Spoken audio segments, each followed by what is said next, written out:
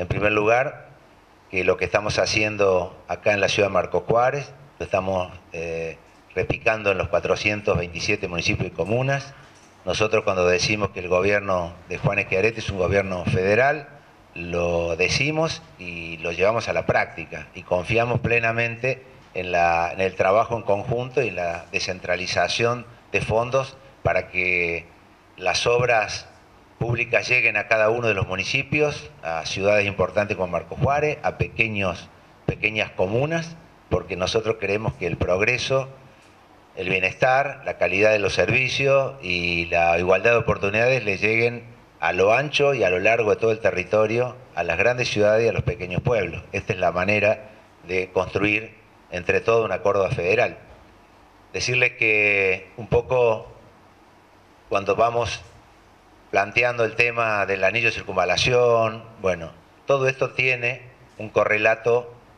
con fondos que la provincia va llevando adelante en grandes obras provinciales como los gasoductos troncales, en grandes obras provinciales como las autovías, como las rutas de montaña, que ustedes permanentemente eh, venimos este, llevando adelante y que los, amigos periodistas, a los cuales le quiero agradecer profundamente en esta posibilidad de esta charla y después, por supuesto, evacuar sus preguntas, venimos llevando adelante en, estos dos años de gestión, que es un programa a cuatro años, eh, en la cual queremos llegar al 2019 con todos los compromisos asumidos, este, eh, completados e inaugurados. Entonces ahí está la variante Costa Azul, las autovías a Carlos Para, el cierre de las altas cumbres definitivo y podemos numerar muchísimas cuestiones, pero acá fundamentalmente en la ciudad y alrededores, la mano del gobierno, trabajando en conjunto con los municipios, en este caso el municipio de Marcos Juárez, eh, y con cada una de las instituciones en otros aspectos que son los temas sociales, este, vamos llevando adelante una tarea que permita justamente elevar la calidad del día de la gente y también tener una mirada social muy profunda, muy activa, para que esa igualdad de oportunidades le llegue a todos los cordobeses. Eh, la pavimentación Zaira Marco Juárez está llevándose muy bien, eh, son 395 millones la adjudicación a la empresa, con algunos ajustes que después seguramente se van a dar, ya llevamos un 23% de ejecución, es una obra difícil, ustedes lo saben, porque ¿quién no vamos a ver en esta zona que tenemos los bajos correspondientes este, en partes, digamos, de la,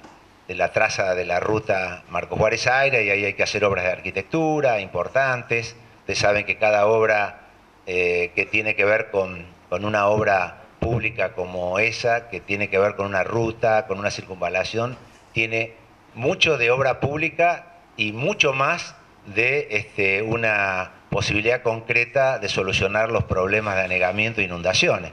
Tiene, tiene que ver con que cada cosa que se hace de esa se hacen las, los puentes correspondientes, las alcantarillas de nivel y todo lo demás, y eso un poco lo estuvimos viendo en, lo que es el cierre de la circunvalación oeste.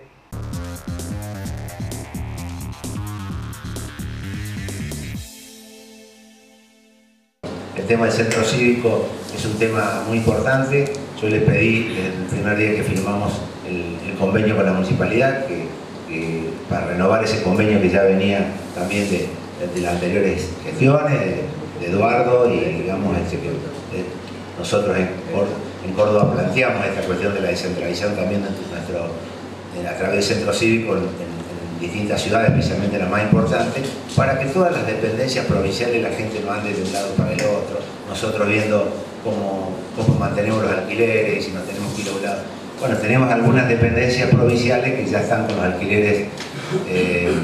ya finalizado y con prórroga, entonces queríamos que en esta licitación apuremos digamos, todo el, trámite para eh, que esto posibilitar que allá por fines de marzo, eh, los sumos por el primer día de abril, un ala lo tengamos terminado y eso es lo que hablamos justamente mientras recorríamos la obra con Pedro, de que tengamos esto como para ir llevando adelante y descentralizando y ahí mismo se va a hacer por supuesto una comisión de trabajo en la cual vamos a ver todas las oficinas provinciales y municipales que tienen que ver Ahí también la secretaria de Equidad de la provincia tiene planteado un CEDER, un centro de capacitación regional, que nosotros lo tenemos en el sur de la provincia y debería bueno tenerlo también acá en la ciudad de Marcos Juárez y que estamos viendo la posibilidad de que esto ya está en camino, está en una resolución y bueno, sabemos que nuestro departamento Marcos Juárez es un departamento este, productivo de mucho, y el tema de la capacitación laboral es muy, muy importante, así que también planteamos que una parte, por lo menos, de lo que significa podamos tener ahí en, el, en, este, en este centro cívico. Eh, en el día de hoy, nosotros estamos entregando para que, eh, digamos, este, en la apertura de licitación no le falten los fondos, 3 millones de pesos del Fondo de Obras Complementarias, perdón, esto es del, sí, del Fondo de Obras Complementarias, le decimos FOCOM, que lo vamos a entregar ahora, Pedro, después que terminemos este, de, hablar y después atendemos la prensa. Decirle que mm, también hay dos obras importantes, yo las voy repasando porque quiero realmente mostrar, digamos, que este trabajo en conjunto, la mirada del gobierno provincial en los 427 municipios, especialmente en Marcuare, eh, tiene claro un trabajo de, eh, que permite elevar la, las obras de infraestructura y elevar la, calidad de vida de sus habitantes. ¿no? Entonces, es un poco lo que decía el intendente, nosotros lo estamos llevando adelante. Por ejemplo, las obras en el, en PET 51, el Nicolás Avellaneda, que le llamamos la Escuela del Trabajo acá, con 21 millones 100 mil pesos, que ya está en ejecución. El, el IPEA 209, Domingo Faustino Sarmiento, la Escuela de Agricultura, también como le llamamos nosotros acá, tiene un presupuesto de 18 millones 721 mil pesos que también está en ejecución. Y después